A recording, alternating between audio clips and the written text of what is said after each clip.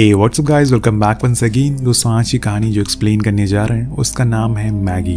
ये कहानी असल में दुनिया के अंत की है, जब चारों ओर एक वायरस फैल जाता है, जिसे न जाने कितने लोग मर रहे हैं और कितने मरने वाले हैं। सरकार बहुत कोशिश करती है कि कैसे भी करके इस बीमारी का क्यों निकाला जा सके, लेकिन अभी तक उन्हें कुछ नहीं मिला और इसी बीच हम एक मैगी नाम की लड़की को देखते हैं, जो अपना घर छोड़कर बाहर चली जाती है, बिना किसी को बताए। अगले दिन जब उसके डैड सोकर उठते हैं तो वो अपनी बेटी को वहाँ पर ना पाकर बहुत ही ज़्यादा डर जाते हैं और फ़ौरन कार लेकर इधर उधर ढूंढना शुरू करते हैं। क्योंकि बाहर का माहौल बहुत ही ज़्यादा खराब हो चुका है, उसकी जान भी जा सकती है। जॉन बहुत ही देर बाद एक हॉस्पिटल में पहुँचते हैं, जहाँ पर किसी ने बताया है कि उसकी बेटी को वहाँ पर देखा गया है। वो चारों ओर उसे ढूंढना शुरू करते हैं और तभी डॉक्टर उसे एक वार्ड तक ले जाते हैं। उसे बताते हैं कि इसे आर्मी वालों ने यहाँ पर लाकर एडमिट कर दिया है, क्योंकि ये इन्फेक्टेड हो चुकी है अब इसकी भूख भी मिटती जा रही है। कुछ दिन इसकी भूख खत्म हो जाएगी और फिर इसको भूख लगेगी इंसानी मांस की। और तब हमें इसे मजबूरन क्वारंटीन करना होगा। जॉन अपनी बेटी की ऐसी हालत देखकर सोच में पड़ जाता है कि आखिर ऐसे कैसे हो गया। दरअसल जॉन एक अच्छा नामी इंसान होता है। उसकी कई लोगों से जान पहचान होती है। और इसीलिए उसने एक बड़े डॉक्टर से सिफारिश लगाकर उसकी बेटी को रिलीज़ कर दिया है। लेकिन वो डॉक्टर उसे वॉर्न करता है कि आपको इसका पूरा ध्यान रखना होगा। क्योंकि कभी भी कुछ भी हो सकता है। जब वो अंदर जाता है तो मैगी उसे देखकर रोना शुरू कर देती है और उसे माफ़ी भी मांगती है कि वो बिना बताए घर से बाहर चली गई थी। और उसकी ऐसी हालत हो गई तो जॉन उसे बताता है कि उसने उसे हर जगह ढूंढा, लेकिन फिर बेन नाम का उसके दोस्त ने उसे बताया कि तुम्हें आर्मी वालों ने यहाँ पर एडमिट किया अब हम घर चलते हैं, जहाँ पर तुम अच्छे से रहोगी। तभी इन्हें बीच में रुकना पड़ता है क्योंकि जॉन को कार में फ्यूल डलवाना था। इसी बीच मैगी कार से उतर जाती है और वहीं गैस स्टेशन के स्टोर के अंदर चली जाती है। वहाँ पर कोई नहीं था, हर तरफ़ बस सामान बिखरे पड़े हुए थे। दूर दूर तक इंसान की कोई परछाई तक दिख नहीं रही थी। शायद यहाँ पर काम करने वाले लोगों को उन लोगों ने मार दिया हो, तभी वहाँ पर जॉन पहुँचता है और मैगी को ढूँढने लगता है, जो कि स्टोर के काफ़ी अंदर जा चुकी थी। वो उसे आवाज़ लगाता है कि तभी उस पर एक इन्फेक्टेड पर्सन हमला कर देता और उसे मारने लगता लेकिन जॉन सही समय पर एक रॉड उठा लेता और उससे उसका गला काट देता है। वो फ़ौरन मैगी को वहाँ से चलने को कहता है और यहाँ पर इन्हें ऐसे खुले में नहीं घूमना चाहिए, क्योंकि हर तरफ़ बस ऐसे ही इन्फेक्टेड लोग भरे पड़े हैं। अब घर जाने पर वो अपने छोटे भाई बॉबी से मिलती है, जो उसे पूछता है कि क्या वो मरने वाली है तो वो कहती है कि नहीं। तुम्हें ये किसने कहा? वो बताता है कि उसके स्कूल में एक बच्चा उसी तरह ही इन्फेक्टेड हो गया था, जिसके कुछ दिन बाद वो एक जानवर में बदल गया और उसे लोगों ने मार दिया। क्या ऐसा कुछ उसके साथ भी होने वाला है? अब मैगी को जवाब नहीं देती, क्योंकि सच्चाई तो उसे भी नहीं पता। वही नीचे उसकी मॉम इस बात से परेशान थी कि कहीं मैगी की वजह से उसके दोनों छोटे बच्चे इन्फेक्टेड ना हो जाए। और इसीलिए वो जॉन से कहकर उन्हें उनके आंट के घर छोड़ने को कहती है, जो कि उन्हें लेकर चला जाता है। ये सब मैगी देख रही होती है उसे अच्छे से पता है कि जैसे जैसे दिन बीतने लगेंगे धीरे धीरे करके सभी अपने लोग उससे दूर हो जाएँगे। क्योंकि वो एक जॉम्बी में बदल जाएगी और जैसे कि हर किसी के साथ होता है। उसके बाद उसे भी मार दिया जाएगा या फिर बंद कर दिया जाएगा। यहाँ पर सभी को उससे दिक्कत होती है, लेकिन एक उसके डैड थे जिन्हें उसकी फ़िक्र थी। इसलिए वो उसके पास आकर उसे खाने के लिए पूछते हैं, क्योंकि उसने सुबह से कुछ भी नहीं खाया। लेकिन मैगी के दिमाग में वही सब चल रहा होता है, इसीलिए वो अपने डैड पर ही चिल्ला देती है, पर वो वहाँ से जाते नहीं है। उसके पास आकर बैठ जाते हैं और तब वो उनसे पूछते हैं और तब वो उनसे पूछती है कि आपने मुझे इतने दिनों तक ढूंढा, अगर इसी दौरान आपको कुछ हो जाता तो हम क्या करते? वो कहते हैं कि मैंने तुम्हारी मॉम से वादा किया था कि मैं तुम्हारी हमेशा रक्षा करूँगा, और मैं उनसे किया हुआ वादा निभा रहा हूँ। यहाँ में ये पता चलता है कि मैगी असल में कैरोलिन की बेटी नहीं है, वो जॉन की पहली वाइफ की बेटी है। इसीलिए उसकी और कैरोलिन की थोड़ी बनती नहीं है, लेकिन जॉन के कहने पर वो खाने के लिए चली जाती है। और वहाँ भी वो चुपचाप ही बैठी रहती है। तभी कैरोलिन की नज़र उसके घाव पर पड़ती है, जिस पर बैंडेज नहीं लगा हुआ था। जिस वजह से वो उसे टोकती है, लेकिन यह बात मैगी को पसंद नहीं आती और वो खाना ही छोड़कर वहाँ से चली जाती। और ये देखकर कैरोलिन को बुरा लगता है और अपनी गलती का एहसास होता है। वो उसे माफ़ी मांगती है और जॉन से कहती है कि उसे ऐसे मैगी को नहीं देखा जा रहा। है वो अंदर ही अंदर ख़त्म होती जा रही है। मुझे कुछ समझ नहीं आ रहा है कि मैं उसे क्या बात करूँ। अब यहाँ जॉन को भी कुछ समझ नहीं आता, लेकिन उसे थोड़ा पेशेंस रखना होगा। क्या पता वो जो दवाइयाँ खा रही हो, उससे ठीक हो जाए। अब कुछ दिन बाद हम मैगी को बाहर झूला झूलते हुए देखते हैं, लेकिन तभी उसके सामने कुछ विजन आना शुरू हो जाते हैं, जिसमें वो कुछ इन्फेक्टेड लोगों को देखती है, जो औरों को खा रहे थे। इसी चक्कर में वो झूले से गिर भी जाती है और उसकी उंगलियों में भी चोट लग जाती है। जब ये चीज़ कैरोलिन देखती है तो फ़ौरन उसके पास भागते हुए आती है और उसे उठाने की कोशिश करती है। और तभी उसकी नज़र उसकी फिंगर पर जाती है, जो कि टूट चुकी थी। अब वो उसे लेकर जल्दी से अंदर जाती है और डॉक्टर को कॉल लगाती है। लेकिन अब धीरे धीरे करके मैगी की वो चोट अजीब तरह का रंग दिखाने लग गई थी। उसका खून काला होने लगा था और इसी बीच वो किचन में रखे हुए एक चाकू से अपनी उसी उंगली को काट लेती है, जिसमें उसे बहुत ज़्यादा दर्द होता है और इसी चक्कर में वो फिर से घर से भागने लगती। लेकिन तभी उसके सामने दो लोग आ जाते हैं, जो इन्फेक्टेड थे। और ये उसी के पड़ोसी हुआ करते थे और उन्हें देखकर वो डर जाती है और वो क्या करे। लेकिन तभी उसके डैड एक बार फिर से उसे बचाने के लिए आते हैं और वो पहले तो उनसे बात करने की कोशिश करते हैं, क्योंकि उसमें एक बच्ची भी होती है, लेकिन वो नहीं मानते तो मजबूरन उसे उन्हें मानना ही पड़ता है, जिसके बाद वो मैगी को लेकर अंदर जाते हैं और तभी वहाँ पर पुलिस आती है। जिसमें ऑफिसर क्लार्क होते हैं जो कि जॉन के काफ़ी अच्छे दोस्त हैं। वो उसे समझाते हैं कि, कि तुम्हें पता है कि तुम्हारे पड़ोस वाले क्यों इन्फेक्टेड हो गए। असल में उन्होंने अपनी वाइफ जो कि इन्फेक्टेड हो गई थी उसे क्वारंटीन में रखने से मना कर दिया इसीलिए उनके घर में एक एक करके सभी लोग इस बीमारी का शिकार हो गए। तुम्हें भी अपनी बेटी को क्वारंटीन में भेज देना चाहिए। लेकिन जॉन नहीं सुनता और उससे कहता है कि तुम भले ही मेरे अच्छे दोस्त हो, लेकिन अगर तुम मेरी बेटी को ले जाने के लिए आए हो तो मुझसे बुरा कोई नहीं होगा। क्लार्क समझ जाता है, इसीलिए वो चुपचाप वहाँ से चला जाता है। अब जब रात में जॉन सो रहा होता है तो उसे कुछ आवाज़ें आती है, जो की मेन गेट से आ रही थी। वो बाहर देखता है तो वहाँ पर बॉनी बैठी हुई थी, जो कि उसकी पड़ोसन है। और आज जिन दो लोगों को जॉन ने मारा है, वो उसी के हस्बैंड और बच्चे थे। दरअसल बोनी इन्फेक्टेड नहीं हुई, लेकिन उसकी बेटी हो गई। इसीलिए वो उसका और हस्बैंड दोनों ही रात में बारी बारी उसकी देख रेख करते थे, लेकिन एक दिन उसके हस्बैंड ने उसे उठाया नहीं। और फिर अगले दिन वो उसे कहीं भी दिखाई नहीं दिए, पर आज पुलिस ने उसे बताया कि वो दोनों मारे गए। वो जॉन से रिक्वेस्ट करती है कि वो उन्हें देखना चाहती है, सिर्फ़ एक बार।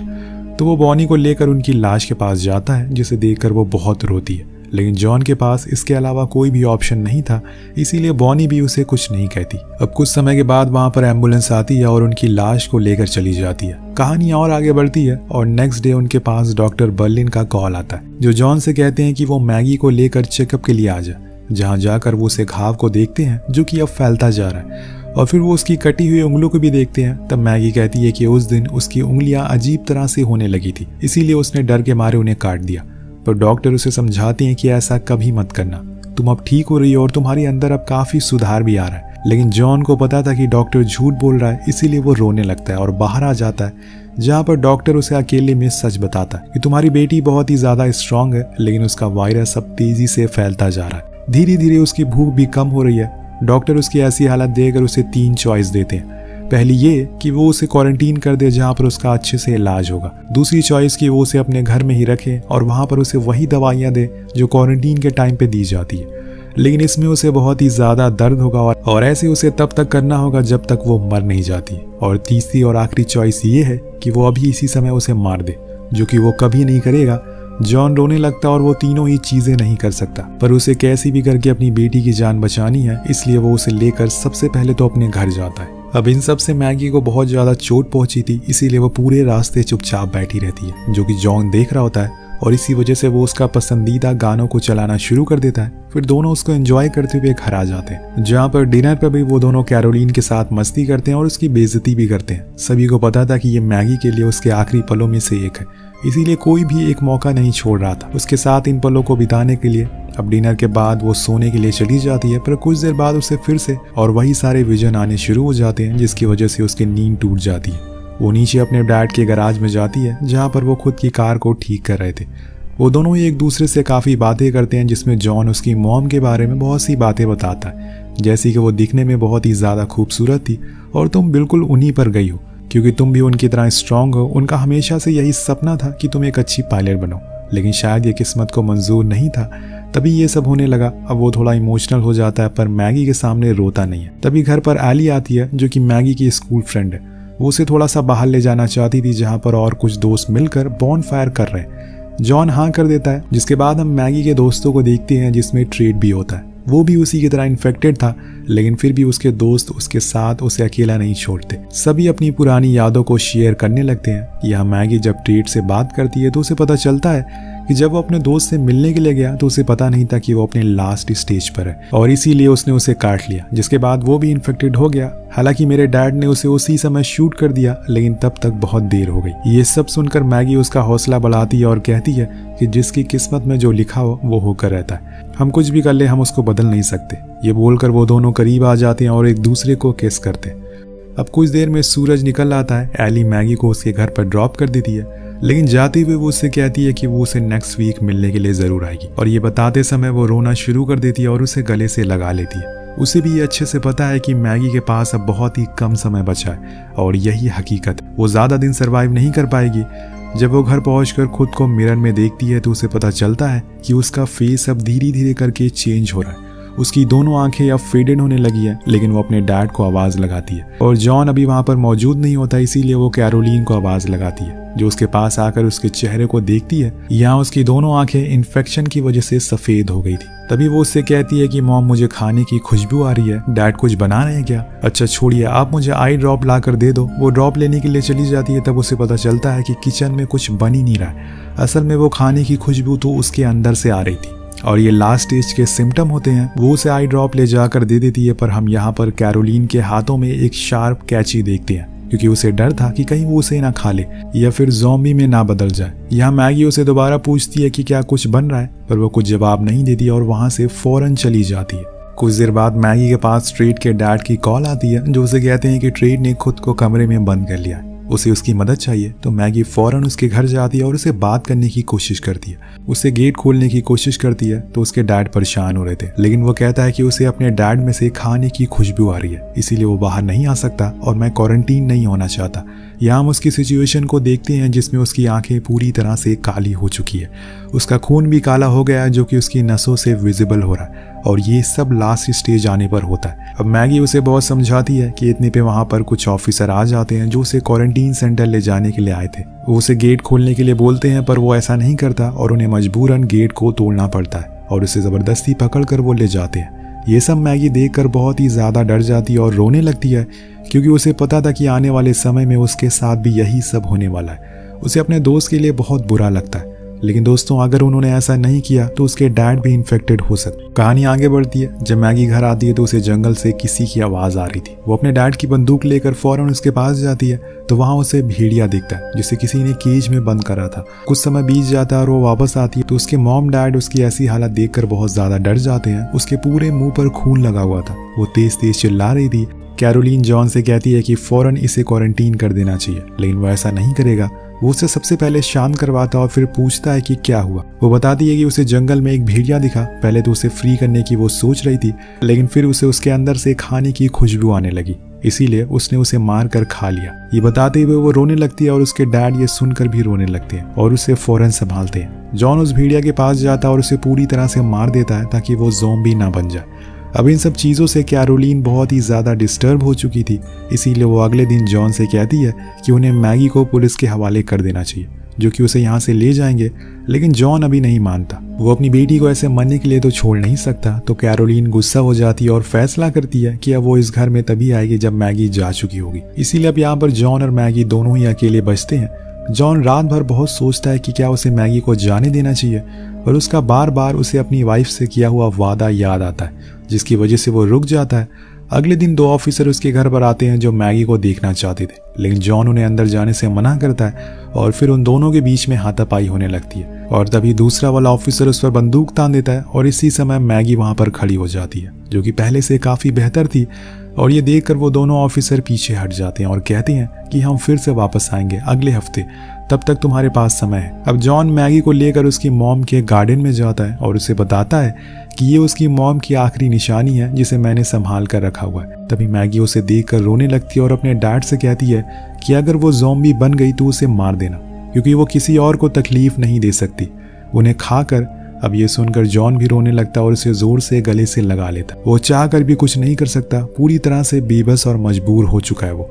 और यही हाल होता है जब कोई अपना हमसे दूर जाता है। अब उस रात डॉक्टर बर्लिन घर आते हैं और वो जॉन को वो दवाइयाँ देते हैं जो क्वारंटीन के समय में उसे दी जाती है। और इसके साथ वो उसे एक सलाह भी देते हैं कि तुम्हें इस पिल की नहीं, बल्कि एक बुलेट की ज़रूरत है। ये पिल उसे हर रोज तड़पाएगी और गोली उसे एक दिन में दर्द खत्म कर देगी।